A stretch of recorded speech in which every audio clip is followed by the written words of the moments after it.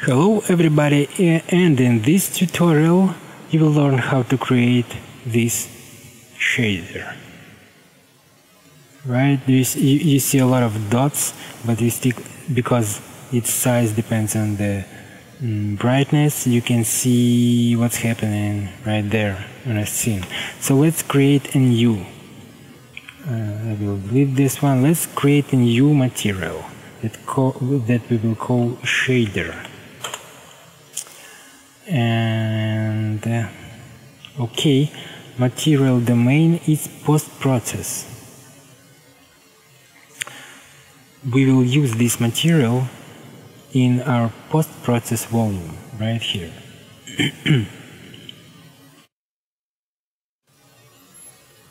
So everything is black because the material is empty. Let's use this node screen position. Screen texture UV mapping. Let's visualize what's happening here.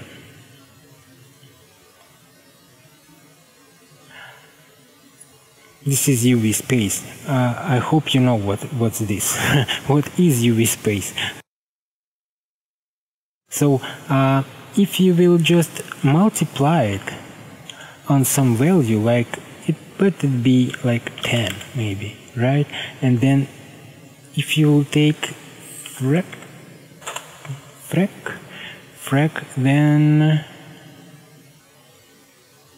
let's see what's happening here. UV coordinates is split on multiple sections like each section goes from 0 to 1 from 0 to 1 and so on 10 times.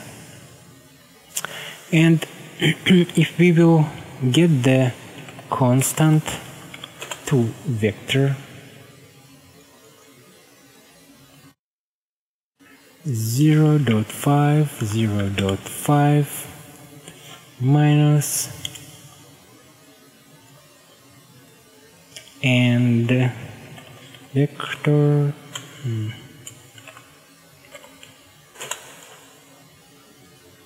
let's see what's happening here. So it is the length of, of the vector. So is this is actually the uh, how far is this is that point is from the local center of UV. Yes, each UV goes from 0 to 1. It means the 0 0.5 is like a center of it. And here we goes uh, and if we will just mm, clamp it on some value. Clamp clamp. Mm, let it be 0 0.5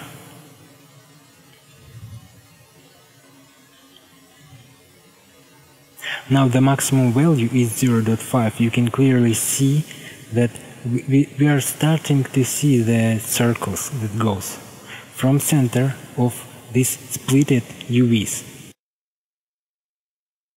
And um, so if this clamp is from 0 to 0 0.5 then if you wanted to have uh, if we will multiply it on 1 divided by 0 0.5 what do we will have? Okay so now the maximum value is 1 let's promote it to parameter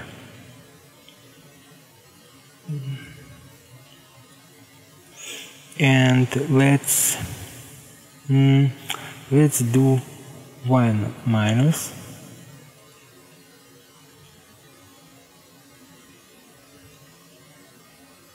Mm -hmm. then multiply it on I don't know maybe on 5 let's let's let it be 5 and again clamp it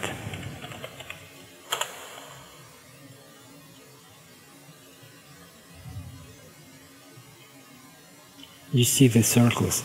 And if we will um, if we will change this parameter you see how the circles is changing its size right? If you uh, see this value multiply the final one uh, we can promote it to I could I will call it a blur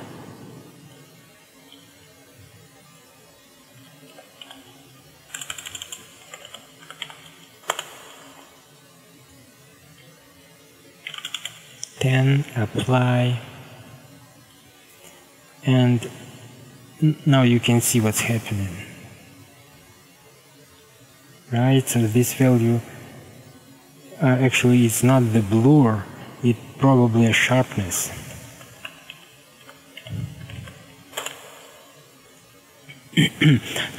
So okay uh, we have the circles. Now uh, instead of this constant parameter. We will try to get the brightness of the scene. Uh, so we need scene texture. As scene color. No not the color texture.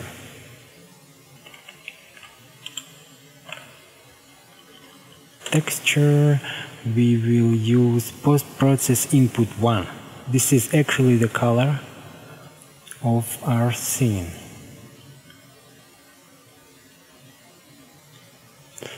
Let's preview it. Okay everything is fine. Everything is just like always.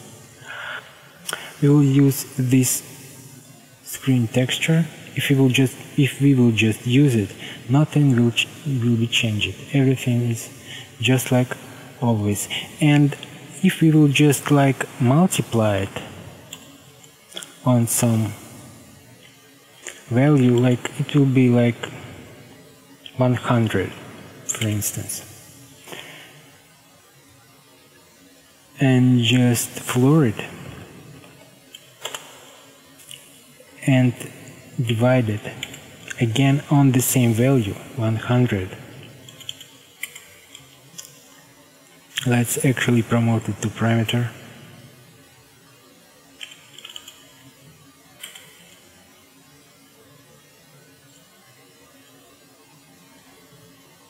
and we will use it. What's happening? Okay so you you see the pixelization effect. This is pretty simple.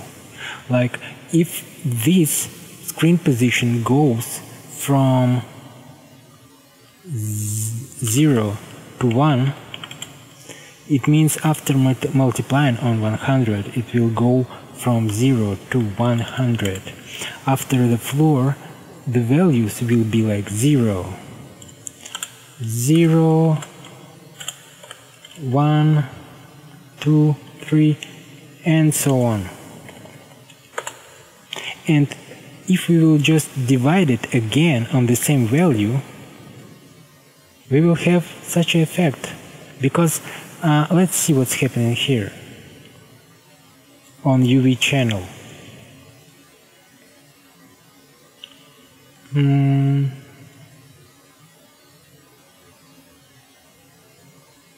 Mm -hmm. You see what's happening here? All these squares have the same UV value. Let's return it to 100. Uh, this is the scene color, so this is the color of image. Uh, we can get the length,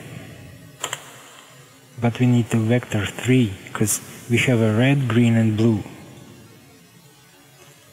Then, because the if the vector, the brightest point is 1, 1, 1, probably the the length of the vector will be not the 1, it will be more than 1. So let's create a constant 3 vector be 1, 1, 1 divided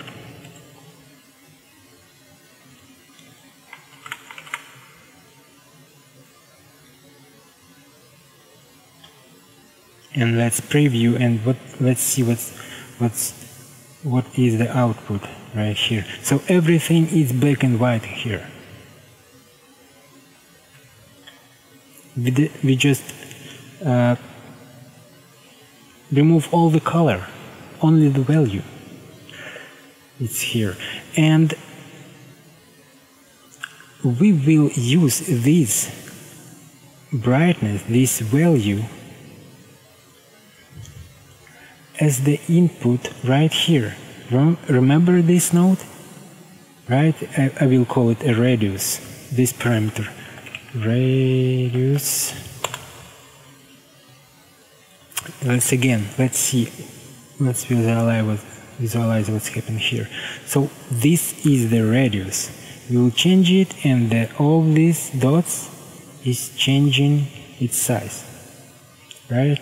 Uh, see this multiply? It is actually we will use this. Right here. What will happen? A lot of dots. Yeah. Mm-hmm. And now let's save it and now we will just instead of just using using constant value constant value we will use the brightness of the image to change the radius of our dots. Let's see what will happen. Apply. Here we go there's a lot of dots. And uh, like not we, we need to change. See these parameters? Uh, it changes the screen position right? Remember this multiplier? And this one too. If we will just change it like set it to 100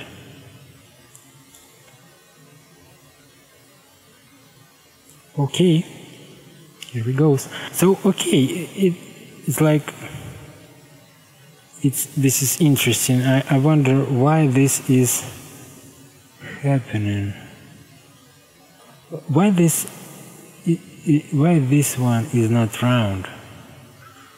Uh, it's it's probably a mistake somewhere.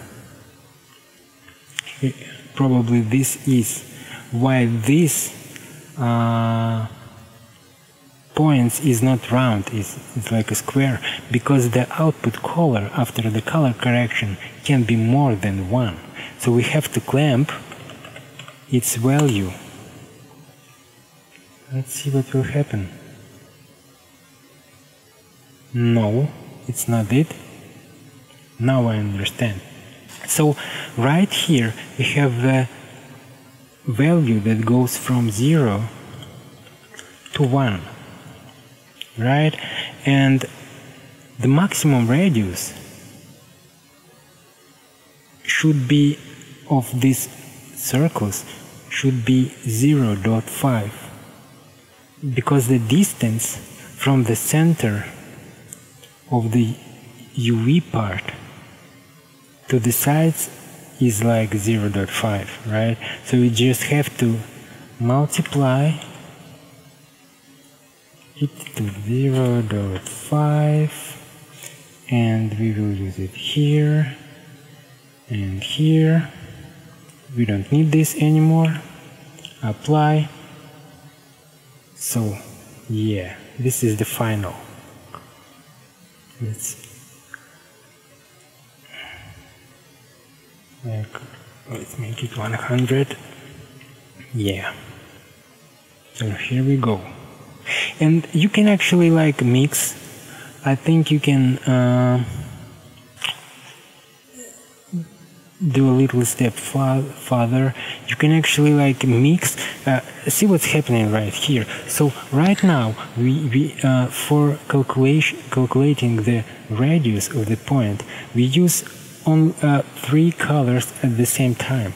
But uh, actually you can split this node right? And you can use a separate channel for creating uh, separate dots. Like not black, black and white dots but, but the colored dots. And here we goes. I hope i hope um, this, this is my very first tutorial. I hope you like it